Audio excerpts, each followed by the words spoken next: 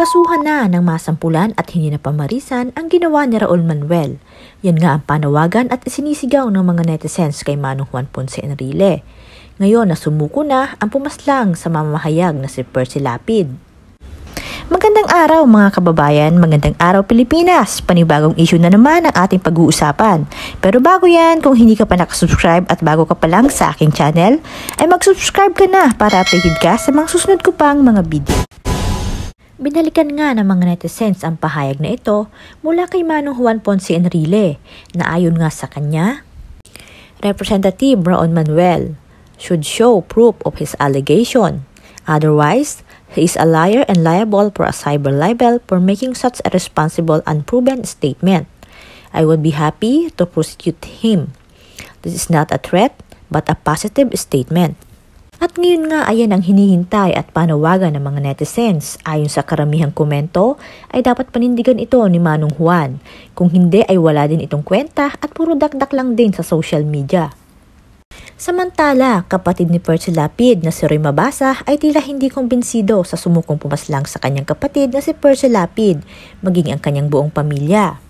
At ngayon nga ay nasa kustodiya na ng mga pulis ang sumukong pumaslang sa mamamahayag na si Percy Lapid na ayon nga sa mga sospek ay umabot ng 500k ang ibinayad sa kanila upang itumba ang broadcaster na si Percy Lapid.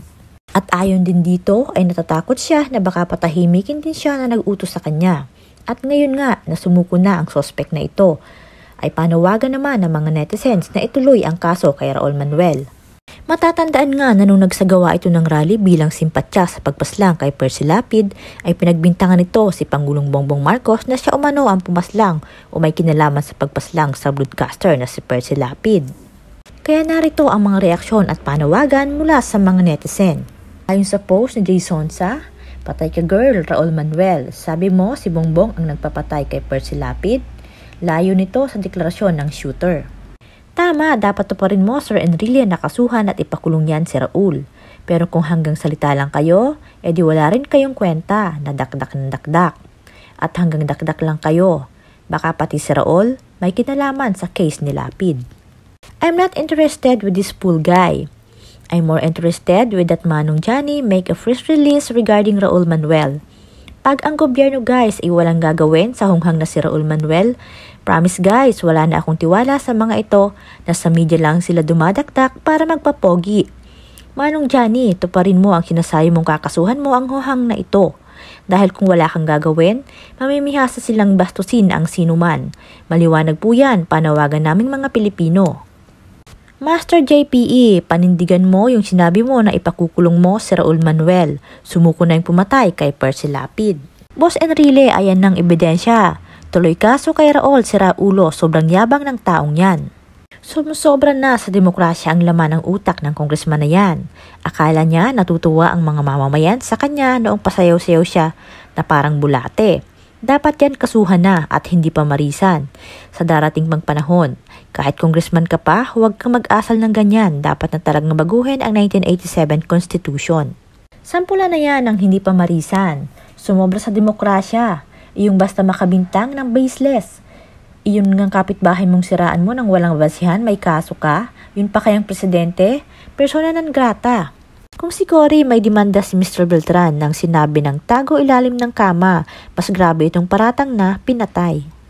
Umpisahan ng disiplinahin ang mga kabataan habang maaga pa putulin ang matatalas na dila. Hindi nararapat sa lipunan natin ang mga ganyang asal at ugali. Ang bulati queen dancer ng CPP and PANDF. Sana kasuhan ng gobyerno yan dahil di lang presidential, binaboy niyan kundi ang buong gobyerno. Tayo na mamamayan ang gobyerno. Pati yung Santa Mama, bakit walang nagreklamo sa kanya? Buong imahe ng bansa ay sinisira kahit pa noong pekeng BP siya. Bakit sobrang demokrasya naman ng gobyerno natin? Dapat meron silang pananagutan sa kanilang mga paninira.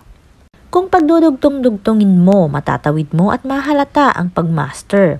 Sabi ng gadman ay nasa loob ng bilibid ang nagutos at malamang siya din ang nagpinance. Ang bilibid ay kulungan ng maraming drug lord na maraming pera. At minsan ay namayagpag sa loob ng bilibid si Manay at sigurado namang may mga kaalyado pa rin siya ngayon doon. Si Manay ay malapit kay JMS na pinuno ng kulto at ang napatay ay kilalang tirador ni PRRD at PBBM. Kaya pag pinatay, pwedeng gawing malaking balita na makadumi ng mukha sa nagdaang gobyerno at lalo na sa bagong gobyerno. At yun ang ginawa ni Sir Raul o Raul Manuel. Nagsimulang magsindi ng apoy, kaso di nagningas. Si Raul o nanginginig na ang tumbong para mong minaliit ang legal advisor ni PBBM. Dapat talaga mabigyan ng leksyon, yung bastos na yan, masyado na silang abosero. Sobra na, masyado na sa demokrasya, hindi na nilalagay sa lugar ng marami. Pag hindi yan kinasuhan, paulit-ulit yang gagawin. Sasabihin pa niyan saan ang kaso hanggang salta lang kayo. Magmamalaki pa yan na hindi siya kinasuhan. Dapat kasuhan ang batang yan. Sobrang tanga pati kasama niyang ibang kabataan. Kulong ka na. Hindi presidente ng kapilya o purok ang pinagbintangan mo, kundi presidente ng 110 million Pilipino. Nakita mo na ang kasuwailan mo, pagkatao. Mali ang pagpapalaki ng magulang mo, kaya ganyan ka. Only in the Philippines, sobrang demokrasya. Pag sa ibang bansa yan, presidente siniraan mo nang walang katotohanan in public rally, kulong yan. Pag di yan kinasuhan, daday pa. Gagawa niyan at gagawin pa ulit yan.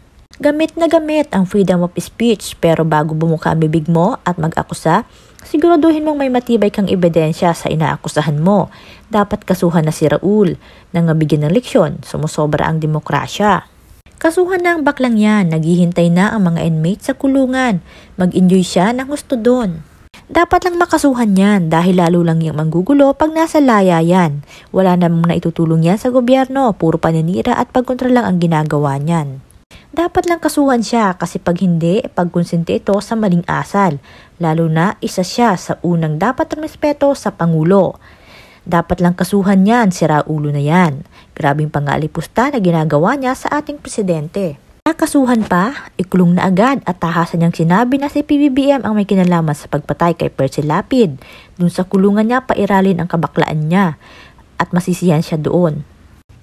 Kaya naman malakas ang loob na makakaliwa magsalita ng walang basihan dahil alam nilang di sila nakakasuhan. Tama yan para masampulan na kasi nasasanay na lang ang mga nagrarally na kung sino-sino ang pinagbibintangan para hindi na masanay ang mga nagrarally kung ano-ano ang sinasabi tungkol sa ating PBBM. Binabastos na nila, hindi na nila ginagalang si PBBM, kaya maganda yung ituloy na lang kasuhan tong sira ulo na leader ng Kabataan Black. Ituloy ang kaso pag sinabing kakasuhan, kasuhan. Sinabi na paninindigan na ituloy ang pagsampa ng kaso, wag yung parang laban bawi. Dapat matuto ang tao sa pagrespeto at mag-ingat sa mga binibitawang mga salita, kasuhan para mapakita sa tao may panggil ang batas. Ano ang masasabi mo sa isyong ito?